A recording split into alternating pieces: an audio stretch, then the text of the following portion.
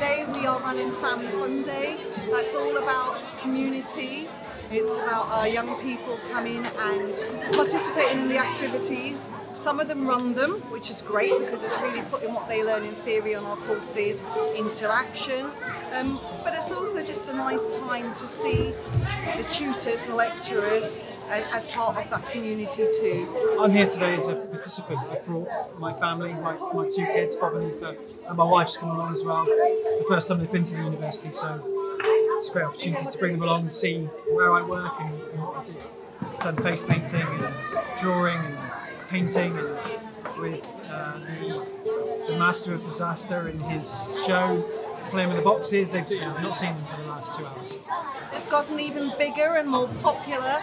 We also have activities for the parents, so it's not just about the children; it's about the, the parents that come along also we appreciate that um, many of our students have families and uh, and actually it, it, creates that personal connection. It's not just about us you know, lecturing them or teaching them, it's about getting to know them, who they are, their families, um, so we can all work together to give them a better education and help them achieve their goals and work around their life. London doesn't just sit in isolation as a place of education, it should be about building community networks also.